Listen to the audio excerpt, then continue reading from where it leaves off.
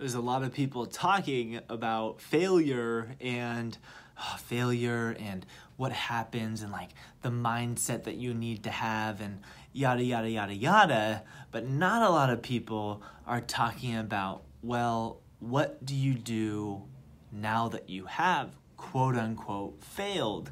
And that's actually something that i want to get into today which is well, what do we actually do, right? What do we do when we have failed? What do we do when things did not go our way? What do we do when we make a mistake? What do we do when we head off into the wrong direction? And the big statement that I actually want you to remember is so what now? Right? Now that this thing has happened, right?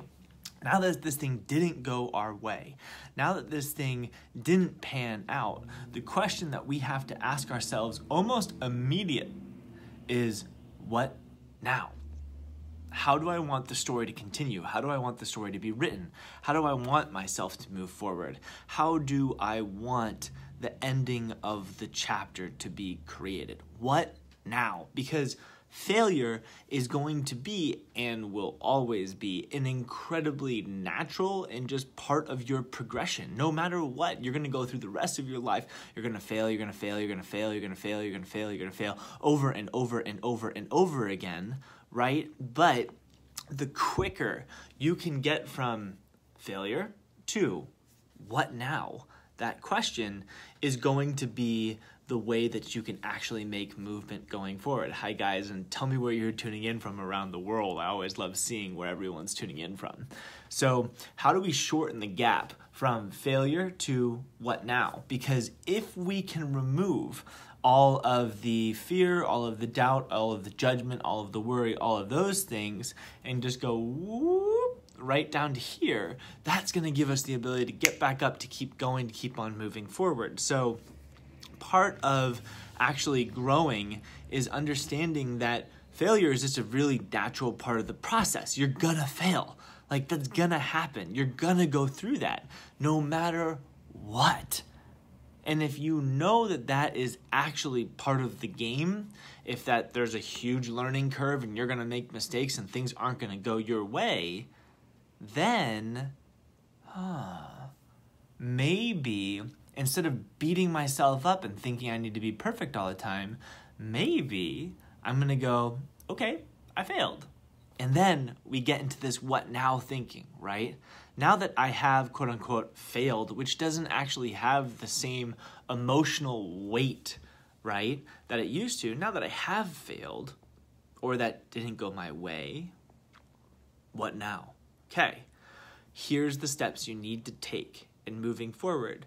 One is don't run away from your failure. Stay close to it. And what I mean by that is you really want to look at the situation and go, what didn't go right? What didn't go well? What was my part? Were there other people's parts? And then looking at our plan, right? Okay, I said that I was going to do this, this, this, this, and this, right? These five things. I only did three.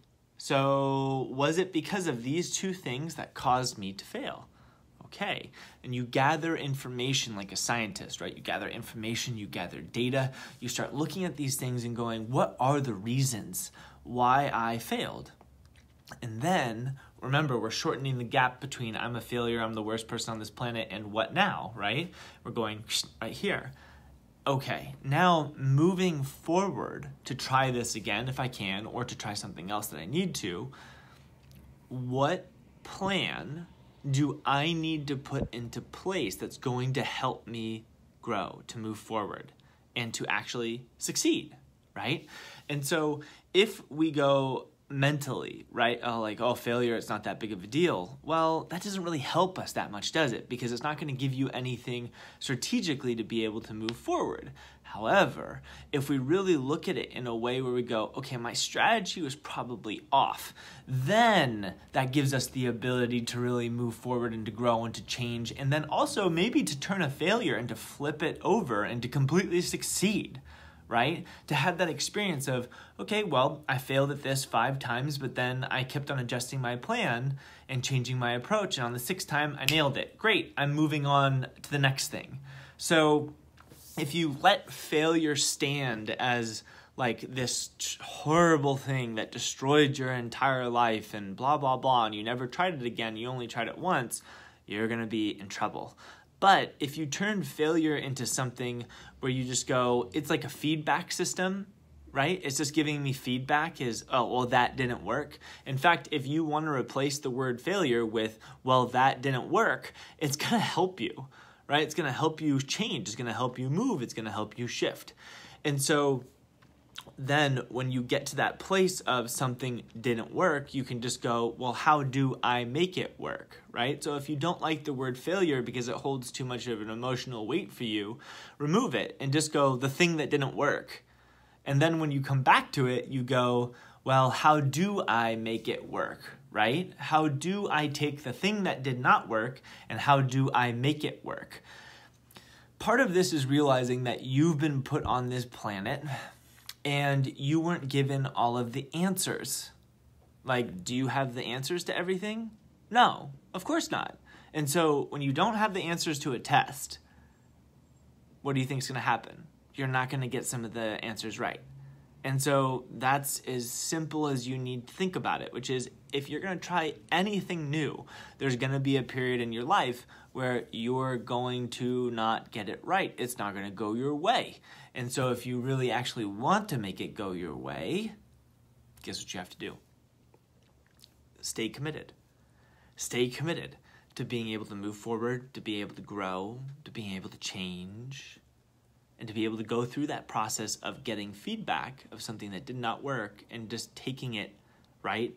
Like a whole, complete human being which is this doesn't mean that I'm a horrible person, it just means I didn't get the answer to the test right. Okay, well, I'm going to try it again because I can see the value in continuing to try and to try and to try.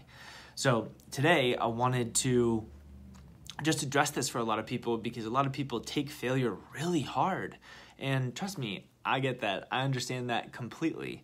But as somebody who is constantly looking to grow and to change and to become better and better and better, I realize that, like, well, the reason why you're taking failure so hard, like there's no there's no point in judging yourself so harshly that you take yourself out of the game. It's much better to actually just like, okay, I'm gonna take it and I'm gonna move forward and I'm gonna try again and I'm gonna change my plan. I'm gonna adapt and adjust. And I gotta tell you, there is no better feeling than failing, failing, failing, failing, and then succeeding. So the payoff is huge at the end.